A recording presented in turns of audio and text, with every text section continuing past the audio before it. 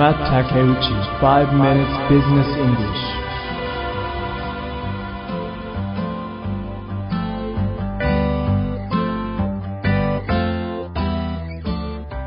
「皆さん、こんにちは。1日5分ビジネス英語へようこそ。ナビゲーターのマット竹内です。今日の記事のタイトル、聞いてみることにしましょう。こちらになります。Is being homeless a crime? え、なんだって質問だったよね。Is being homeless a crime? ホームレスになるというのは犯罪なのっていう問いかけ？今日はちょっと重い内容なのかな、マトさん。さあ、どうでしょうね。まずはいつものように冒頭の文章をちらっと覗いてみましょうか。Homelessness is a glaring problem in many countries, and the US is not an exception.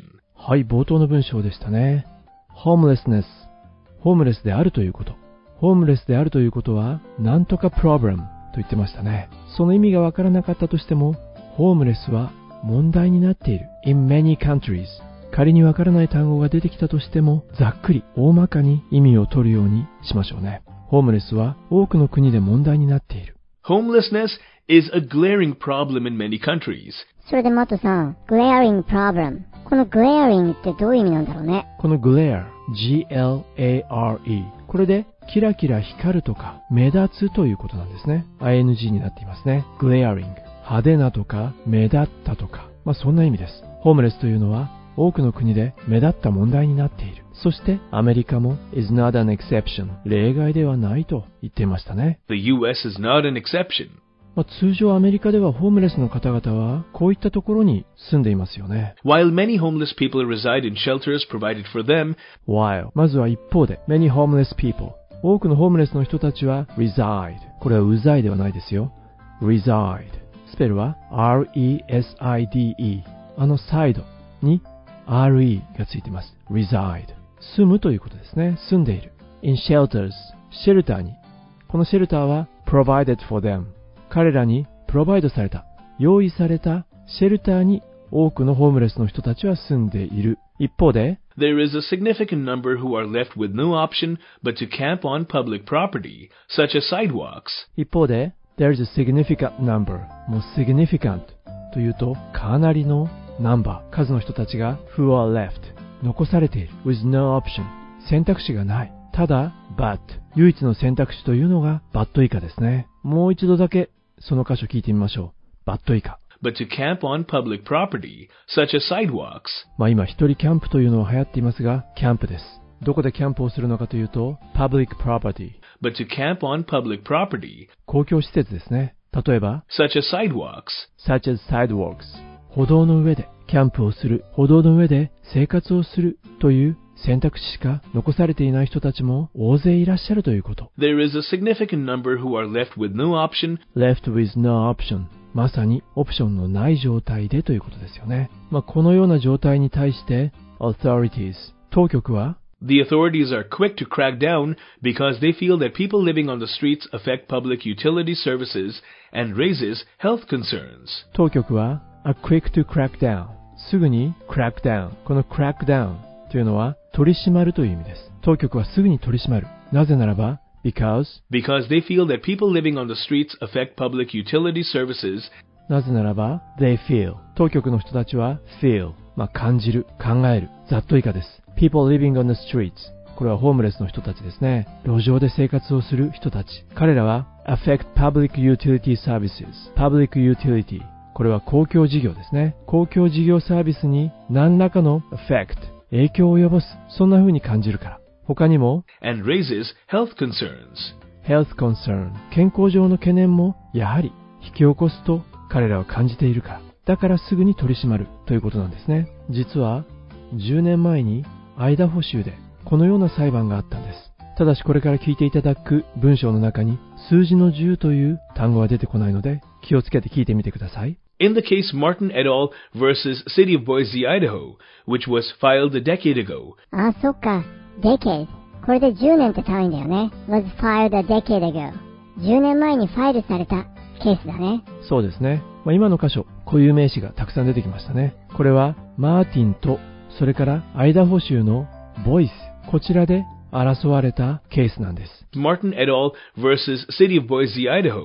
その時に Plaintiff、これは原告という意味ですね。Plaintiff がとても crucial、重大な質問を投げかけたんです。どのような質問なのか聞いてみることにしましょう。この後です。Do the homeless have the constitutional right to sleep on the sidewalk if they have nowhere else to go? ということですね。do から始まってましたね。そして動詞は have 持っている。誰が do the homeless Do the homeless have the constitutional right ホームレスの人たちは持っているのか何を持っているのかというと constitutional right right 権利を持っているのか to sleep on the sidewalks 歩道で眠るという権利憲法上の権利を持っているのかもう少し条件があります。If they have nowhere else to go. 他にどこにも行くところがない場合、まあ、そんな条件で歩道で眠る権利はないのかという質問が原告側から出たのです。そして原告はアイダホ州のボイシーに対して argued 主張したんです They argued that the city of Boise unfairly acted against them for sleeping outside. ホームレスの人たちは argued 主張したんですね City of Boise 市に対して unfairly acted against them この them はホームレスの人たちです unfairly 不当に彼らを扱った for sleeping outside 外に寝ていることに対して which amounted to cruelty そのことは amounted cruelty cruelty c-r-u-e-l-t-y 残酷な行為ということですね。Amounted 残酷な行為同然だと。そして went against go against 違反する。何に対して？Went against the Eighth Amendment. この amendment というのは改定ということですね。法律が8回改定された修正8条、この部分に違反してるんじゃないかと申し立てたわけです。さあ、それではそろそろ今日の第1回目の記事本文を聞いていくことにしましょう。昨年ですが、The homeless found some relief last year 第9アメリカ巡回控訴裁判所というところが when the Ninth U.S. Circuit Court of Appeals ruled ruled 裁定をしたんですね。判決を下したんです。それはどのような内容だったんでしょう？その裁定に対してどのような反応があったのでしょうか？特に企業や住民の人たちから、そしてこの裁判、どちらの方向に進んでいくと今日の記事は伝えているでしょうか。まあ、このあたりに耳を傾けながら第1回目の記事本文を聞いていくことにしましょう。今日の記事はこちらになります。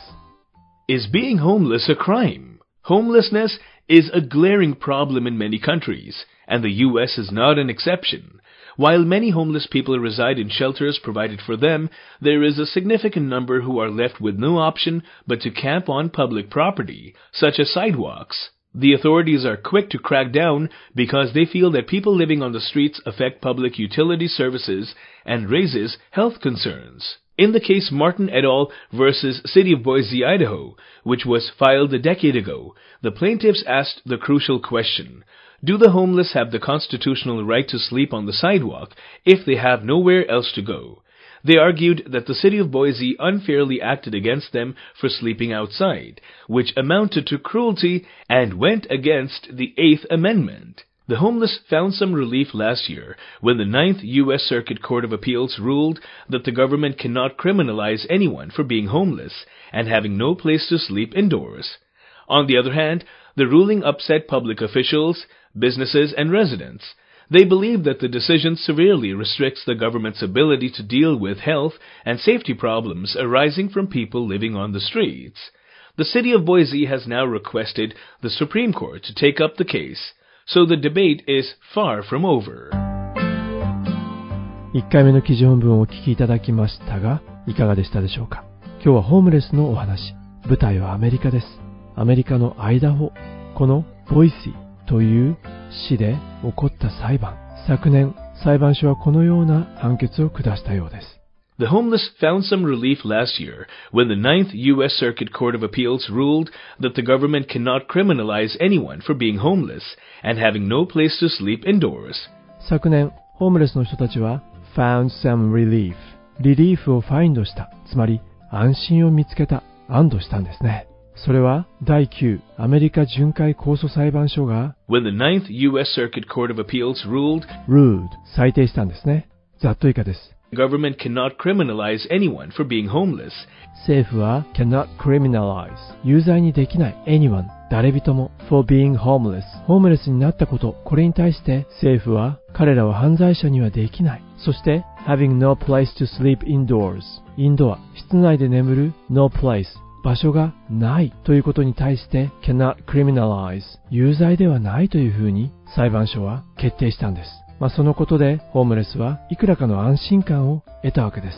さあ、それに対して on the other hand On the other hand, the ruling upset public officials, businesses, and residents. まあ、一方で on the other hand the ruling この決定が upset upset はよく使いますね。混乱させてしまった。まあ、ちょっと怒らせてしまった。誰を public officials、まあ、公務員の人たちとか、businesses、企業の人、それから residents、住民の人たちを、この裁判所の決定は彼らをアップセットさせてしまった。怒らせてしまった。まあ、この決定について彼らは they believe このように考えているわけです。They believe that the decision severely restricts the government's ability to deal with health and safety problems arising from people living on the streets.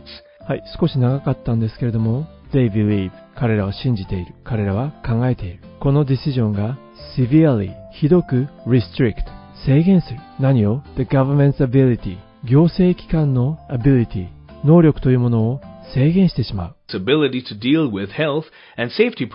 行政機関が deal with 対峙する、向かい合う健康や安全の問題に行政機関が向かい合うとき、今回の判決が制限を与えてしまう。健康や安全の問題というのはどこから起こる問題なのかといえばもちろん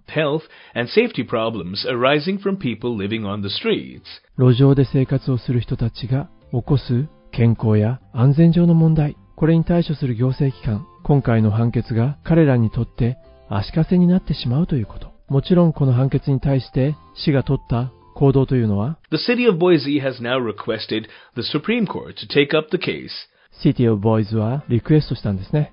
最高裁判所に上訴を求めているということ。ですから、今回のディベート、議論というのは、So the debate is far from over. far from over. オーバーするには far. まだまだ時間がかかるということ。終わるまでにまだ時間がかかりそうだということですね。さあ、ということなんですね。まあ今日は例えば plaintiff 原告のような単語が出てきましたね。まあこうした単語も覚えておくといいですよね。さあ、今日の記事もほぼ意味が取れたと思います。最後にもう一度本文を聞き直して、ポッドキャストを終えていきたいと思います。本日も大変にお疲れ様でした。Is being homeless a crime? Homelessness is a glaring problem in many countries, and the US is not an exception. While many homeless people reside in shelters provided for them, there is a significant number who are left with no option but to camp on public property, such as sidewalks. The authorities are quick to crack down because they feel that people living on the streets affect public utility services and raises health concerns. In the case Martin et al. versus City of Boise, Idaho, which was filed a decade ago, the plaintiffs asked the crucial question, do the homeless have the constitutional right to sleep on the sidewalk if they have nowhere else to go?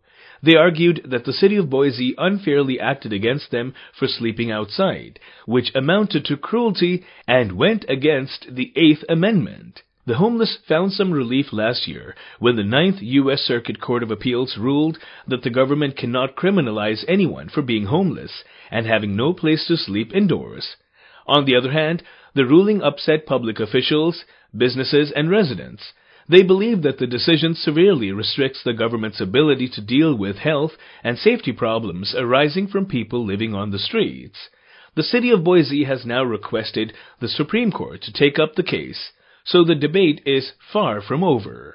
それでは皆さんまた次回お耳にかかることにいたしましょう。